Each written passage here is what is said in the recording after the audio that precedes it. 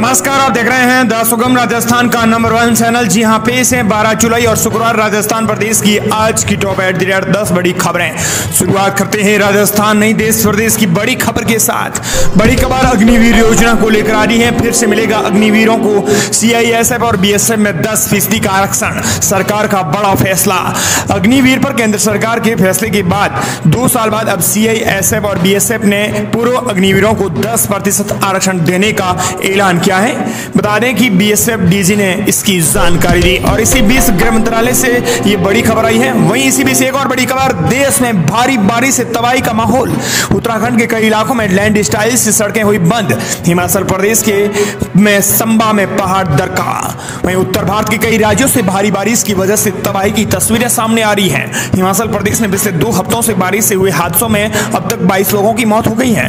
उत्तर प्रदेश, बिहार, झारखंड के कई इलाकों में भारी बारिश से लोगों का जियाना मुहाल हो गया है। इधर बिहार में नदियाँ उफान पर हैं। बाढ़ और बिजली गिरने से हो रही मौतों का सिलसिला लगातार जारी है। वहीं यूपी और बिहार और झारखंड में बारिश और बिजली से अब तक छप्पन लोगों की मौत हो गई है। बिहार में रेड अलर्ट जारी किया गया है तो एमपी समेत छह राज्यों में भारी बारिश की संभावना आईएमडी यानी मौसम विभाग ने जताई है।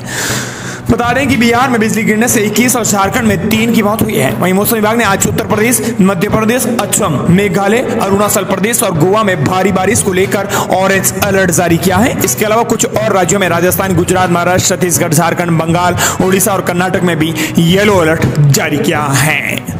चलिए बात कर लेते हैं राजस्थान प्रदेश की। आज की टॉप एट दस बड़ी खबरों की। शुरुआत करते हैं प्रदेश की बड़ी खबर के साथ, लेकिन उससे पहले आपको बता दें कि आज खबरों के आने में थोड़ी देरी हो गई है। इसलिए आप हमें क्षमा कीजिए, हम माफ़ी चाहते हैं कि खबरों को हम थोड़ा आपको देरी से पहुँचा रहे हैं। चलिए बड़ी खबर, अब चौदह हज़ार चार सौ बीस नंबरों पर कॉल करके दर्ज करवा सकेंगे शिकायत। नगर निगम ग्रेटर ने जारी किया नया toll free number monsoon season शुरू होने के साथ ही शहरों में अलग अलग जगह जगह सीवरेज जाम की व्यवस्थाएँ, समस्याएँ हैं, वो शुरू हो गई हैं। इस कारण प्रदेश के लोग परेशान हैं। इसे देखते हुए नगर निगम ग्रेटर प्रशासन ने बड़ा फैसला लिया। इसके लिए टोल फ्री नंबर जारी किया है।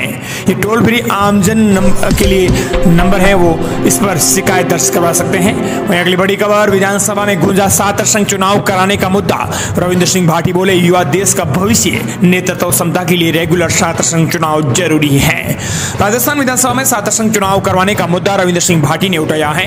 भाटी ने सदन के शून्यकाल के दौरान कहा है कि सात संघ चुनाव राजनीति की प्रथम सीढ़ी है, जो नवीन राजनीतिक पीढ़ी को तैयार करती है। विधानसभा स्पीकर भी सातर राजनीतिक से आते हैं। लोकतांत्रिक व्यवस्था में सातर संघ चुनाव अपरिहार्य और अनिवार्य है। वहीं अगली बड़ी खबर, राजस्थान की विधानसभा में कांग्रेस विधायकों ने सरकार की की तारीफ़। पाली विधायक बोले, दिया कुमारी और सीएम को सैल्यूट तो वहीं भाजपा विधायकों ने सरकार को घेरा। राजस्थान की विधानसभा में दिलचस्प नजारे सामने आ रहे हैं, जहाँ प्रश्नकाल और शून्यकाल के दौरान भाजपा विधायकों ने सरकार को जमकर घेरा है। वहीं बजट बहस के दौरान कांग्रेस विधायकों ने सरकार के बजट की खूब तारीफ़ की है।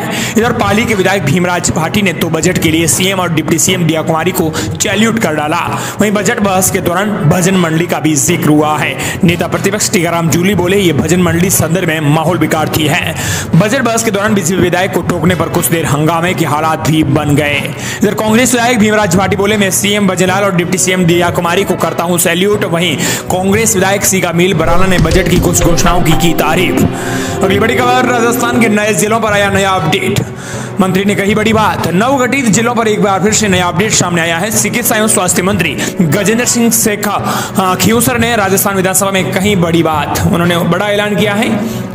नव निर्वासित गठित जिलों पर यह नया अपडेट है। गजेंद्र सिंह ने राजस्थान विधानसभा में एक बड़ी बात कही है। चिकित्सा एवं स्वास्थ्य मंत्री गजेंद्र सिंह से विधानसभा में कहा कि राज्य सरकार प्रत्येक ज़िले में एक मेडिकल कॉलेज खोलने के लक्ष्य को पूरा करने में सफलतापूर्वक आगे बढ़ रही है। उन्होंने कहा कि नवगठित सत्रह जिलों में भी भविष्य में नीतिगत निर्णय होने के उपरांत गुणवागुण के आधार पर मेडिकल कॉलेज खोलने के संबंध में फैसला लिया जाएगा।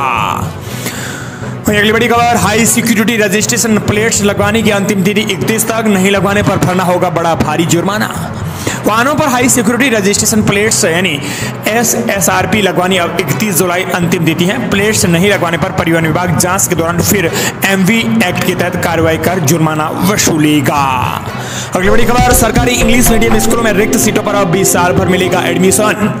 Mahatma Gandhi English medium स्कूलों की नौवीं से बारहवीं कक्षा में रिक्त सीटों पर प्रवेश हिंदी मीडियम के विद्यार्थियों के लिए निर्धारित अंतिम तिथि तक हो सकेगा। फ़िलहाल ये तिथि 15 जुलाई तय की गई है। अगली बड़ी खबर, सबसे अहम खबर आ रही है, राजस्थान में फ्लैट खरीदना होगा सस्ता, सरकार ने घटाई स्टाम्प ड्यूटी। मकान ज़मीन पर नई दरें लागू। राजस्थान में मल्टी स्टोरी में फ्लैट खरीदना अब सस्ता हो जाएगा। राजस्थान बजट में नई व्यवस्था के तहत रजिस्ट्री पर लगने वाली स्टाम्प ड्यूटी को घटा दिया गया है। करीबन बता दें कि बजट में 50 लाख कीमत तक फ्लैट की रजिस्ट्री पर लगने वाली स्टाम्प ड्यूटी को छह फ़ीसदी से घटाकर पाँच फ़ीसदी कर दिया गया है। इससे 50 लाख रुपए की कीमत के फ्लैट की रजिस्ट्री पर अब करीब पैंसठ हज़ार रुपए की बड़ी बचत भी होगी। अगली बड़ी खबर, अहम खबर है। आपको तो बता दें कि मानसून की ट्रफ लाइन ने बदली चाल, राजस्थान में फिर से आसमानी आफत। भरतपुर समेत तीन जिलों में भारी बारिश की चेतावनी। राजस्थान में मानसून की बारिश का दौर धीमा पड़ने के साथ ही उमस ने परेशान करना शुरू कर दिया। इसके साथ ही पश्चिमी राजस्थान में तापमान भी पारा फिर से सड़ने लग गया है।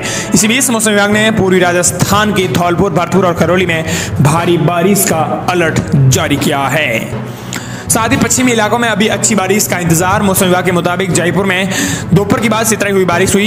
इधर प्रदेश के विभिन्न इलाकों में चटक धूप ने गर्मी से इजाफा कर दिया। वहीं राजस्थान में मानसून की बारिश के पहले फ़ेज़ में पूर्वी राजस्थान में अच्छी बारिश हुई है। हालाँकि प्रदेश का पश्चिमी इलाकों को अभी अच्छी बारिश का इंतज़ार है। और बड़ी खबर, सरकारी स्कूलों के विद्यार्थी अब प्रदेश में सात संभाग और तैंतीस ज़िले ही पढ़ेंगे। पूर्ववर्ती कांग्रेस सरकार ने प्रदेश के जिलों की संख्या बढ़ाने के साथ ही संभागों की संख्या में भी बढ़ोतरी की थी। लेकिन इसके बावजूद शैक्षणिक सत्र में आद्यंतर प्रदेश के लाखों विद्यार्थी अब भी प्रदेश में सात संभाग और तैंतीस जिलों का अध्ययन करेंगे। अगली बड़ी खबर, बजट घोषणाओं की पालना के लिए एक्शन प्लान हुआ तैयार। सीएम जिला शर्मा ने मंत्री और सचिवों की फ़ील्ड में काम शुरू कराने के लिए निर्देश। बजट घोषणाओं की पालना के लिए सरकार एक्शन मोड में नज़र है। सरकार ने बजट घोषणाओं को समय से धरातल पर उतारने का एक्शन प्लान तैयार कर लिया है। इसके लिए सभी जिलों में 12 से 14 जुलाई तक प्रभारी मंत्री एवं प्रभारी सचिव मीटिंग लेंगे और बजट घोषणाओं पर फ़ील्ड में काम शुरू कराएँगे।